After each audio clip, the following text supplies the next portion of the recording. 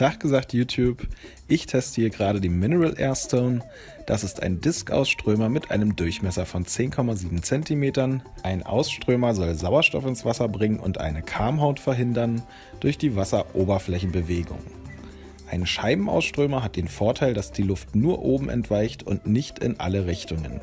Ob man einen Ausströmer braucht im Axolotlbecken, sollte man vom pH-Wert abhängig machen, da CO2 vertrieben wird und der pH-Wert somit ansteigt.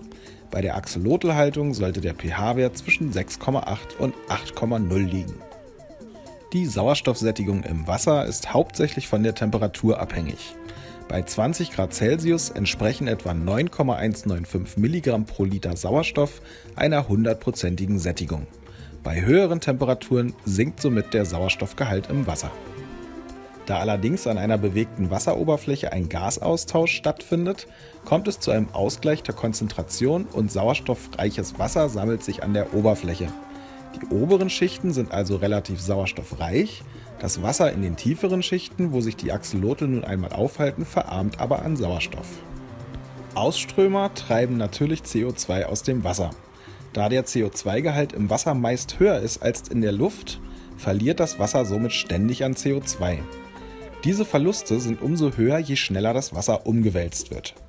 Dennoch sollte man nicht vom Einsatz eines Sprudelsteines absehen, da in der Regel mehr als genügend CO2 für die Pflanzen im Becken zur Verfügung steht. Auf die Entwicklung der Kiemenbögen bei den Axolotln haben Sprudelsteine eine positive Wirkung. Natürlich kann man den Einsatz auch auf die beleuchtungslose Nachtzeit beschränken. Mein Fazit ist, die Blasen könnten im Vergleich zu teureren Modellen feiner sein und der Diskausströmer ist sehr leicht. Alles in allem muss ich aber sagen, vom Preis-Leistungs-Verhältnis bin ich doch sehr zufrieden. Entscheidet selber, ob ein Ausströmer im Axolotlbecken für euch sinnvoll ist. Ich hoffe, ich konnte mit diesem Video zeigen, welche Faktoren ihr dabei beachten müsst. Vielen Dank fürs Zuschauen, klickt mal wieder vorbei, bis zum nächsten Mal.